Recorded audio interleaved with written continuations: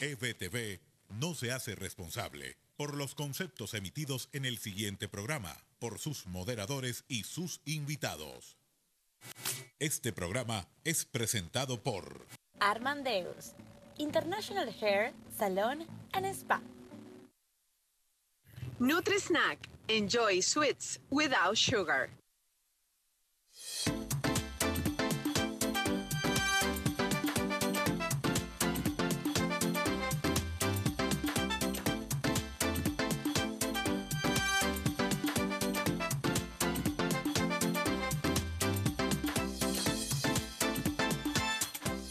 Sean todos bienvenidos a Chica al Día. De esta manera empezamos puntuales a nuestra cita de todas las semanas. Willy Martin a mi lado. Willy Martin, bienvenido. Gracias, Hoy queremos hacerle un merecido y sentido homenaje a un hombre que creyó en Venezuela, un hombre que forjó a nuestra tierra, Eberto Méndez. La gran familia de BTV Miami se une al profundo dolor que embarga a la familia Méndez Jiménez.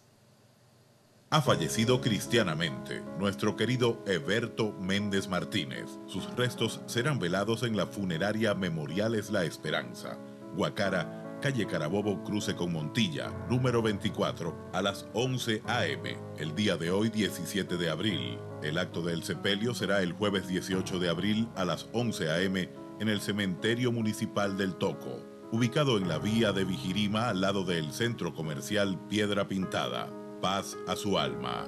La familia EBTV se une para hacerle llegar nuestras más sinceras condolencias a nuestro CEO, Carlos Méndez y familia, por la desaparición física de su amado padre, Eberto Méndez Martínez. Paz a su alma.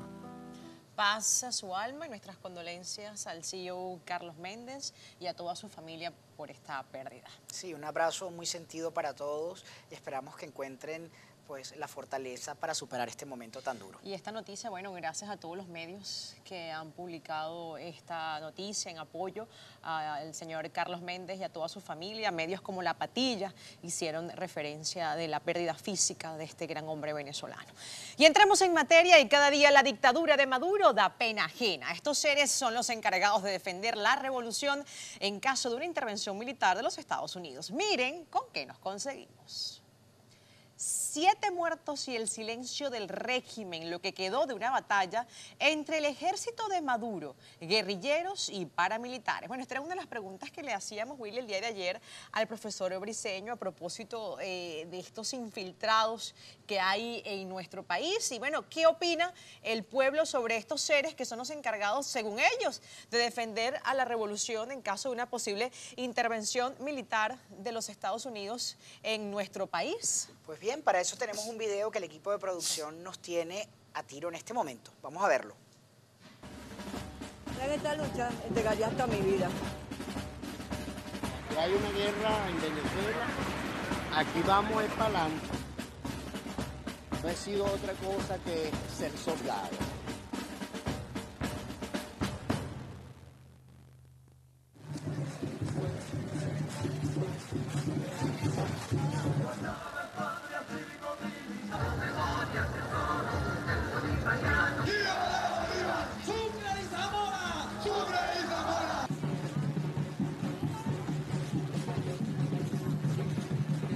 Si hicieran una intervención venezolana, nosotros saldríamos a responder por nuestro pueblo. Nosotros no nos vamos a dejar que ningún extranjero nos venga a humillar, porque para eso nosotros somos venezolanos de este país y de nosotros.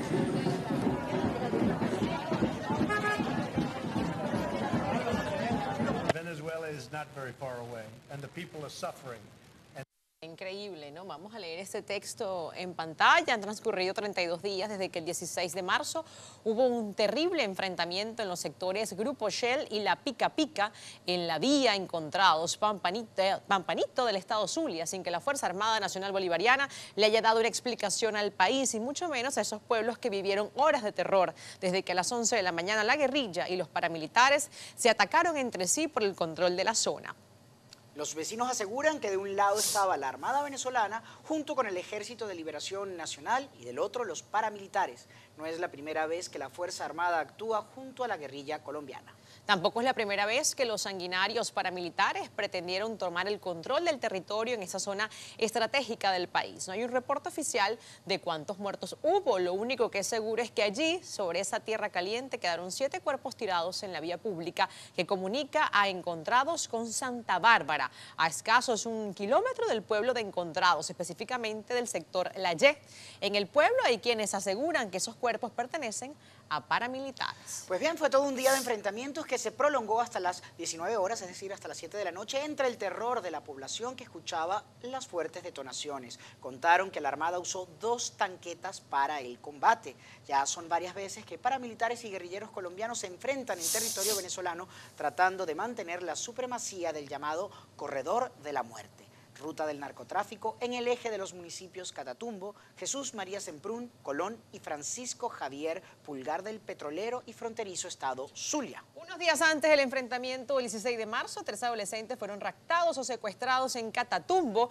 Los ejecutaron y los lanzaron en el camellón La Conquista del municipio Colón del Zulia. Bueno, estas son informaciones que muchas de las personas desconocen y que realmente no salen a la luz pública, que hay enfrentamientos, que están muriendo civiles y también están muriendo paramilitares, un poco lo que hablábamos el día de ayer, estos infiltrados en Venezuela. Sí, volviendo un poco al video anterior, Kerly, me llama la atención que este grupo de paramilitares o este grupo de civiles que se han eh, unido a estas fuerzas militares creadas por Chávez en el 2007, que ya suman más de 2 millones de ciudadanos, casi todos son muy mayores de edad, son personas que pertenecen a la tercera edad. Entonces me pregunto yo si esta es la fuerza con que cuenta Venezuela para defenderse, si estas personas realmente son las más preparadas o las que pudieran defender a nuestro país. Les cuento que el régimen, tras noticias abrumadoras, generalmente jamás podrá romper el silencio y pronunciarse. Ya van siete muertos en enfrentamientos de fuerzas militares de Maduro, colectivos y paramilitares. Vamos a ver estas imágenes un momento, por favor. Aquí estamos viendo de Venezuela lucha. Con este material audiovisual, el presidente encargado Juan Guaidó y su equipo registraron todos los obstáculos que pasaron en su gira para la Operación Libertad en Zulia y Falcón. Veamos el video.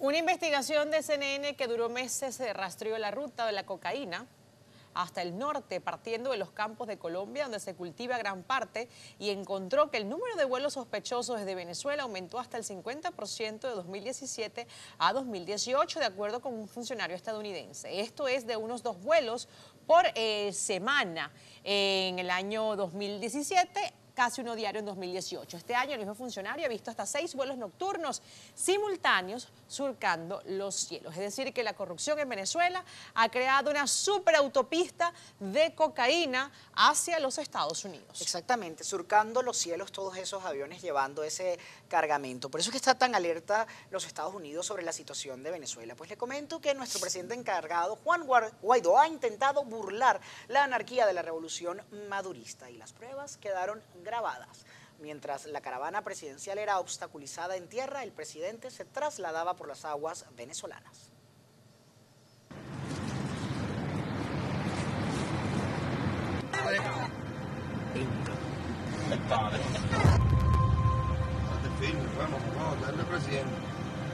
Sin trabajar.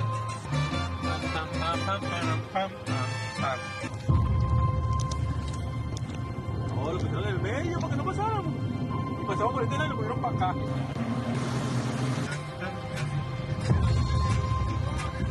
Y todavía lo vieron.